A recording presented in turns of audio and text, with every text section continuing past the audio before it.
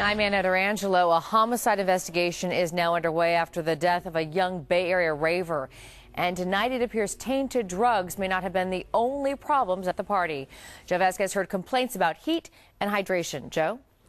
And police say they're going to have to do toxicology tests to find out exactly what caused this problem. They say it may have been tainted drugs, but I talked to some party goers who described a scene. It was very hot Saturday night and they say that you know what people were uh, had limited access to water. The water bottles were three to five dollars, so they weren't uh, hydrating as much as they should have.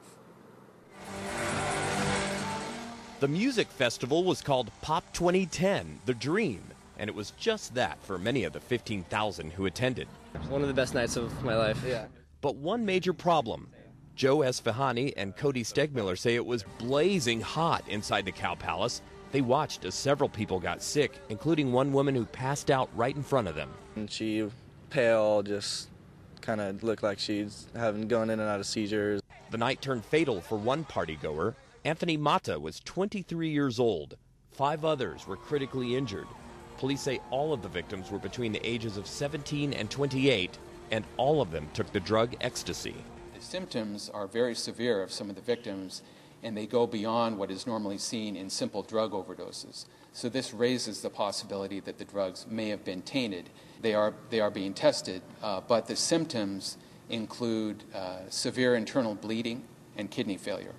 We didn't get there until later that evening, and unfortunately, by the time I had gotten there, he had already passed away.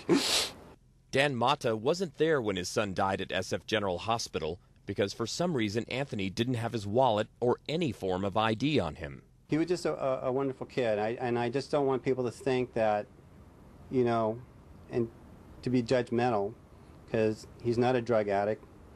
He's, he wasn't a problem child, and, and he's going to be missed by, by so many people.